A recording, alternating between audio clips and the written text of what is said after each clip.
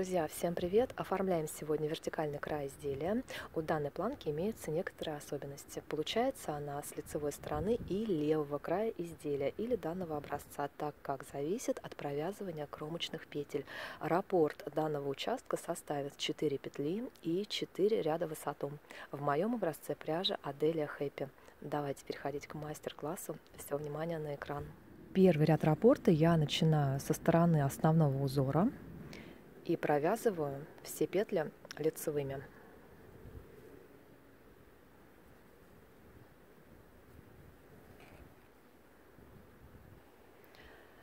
Остаются 4 петли, раппорт планки. Провязываю следующим образом. Первую петлю переснимаю вместе с накидом. Далее 2 лицевые. И четвертую петлю переснимаю вместе с накидом. Затем идет изнаночная кромочная второй ряд. Начинаю со стороны планки. Кромочная, снимаю. Первую петлю переснимаю, также не провязываю, добавляю один накид. Две изнаночные.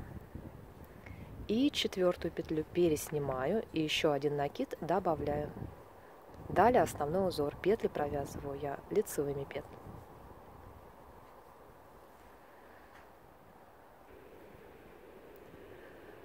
Третий ряд я начну со стороны основного узора, и это будут лицевые петли. Кромочная. И далее все петли провязываю лицевыми.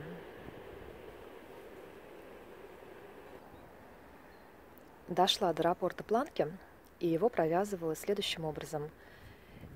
Первую петлю раппорта вместе с двумя накидами провязываю одной изнаночной. Далее 2 лицевые и четвертую петлю раппорта вместе с двумя накидами провязываю также одной изнаночной и затем кромочная изнаночная.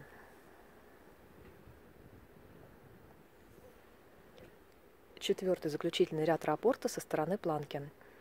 Кромочная петля,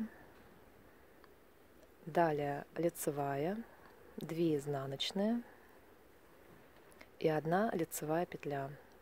Далее основной узор. Все петли провязываю лицевыми.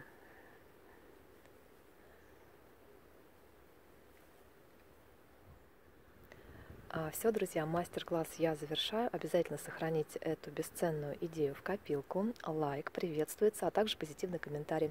Желаю вам отличного настроения, и мы скоро увидимся.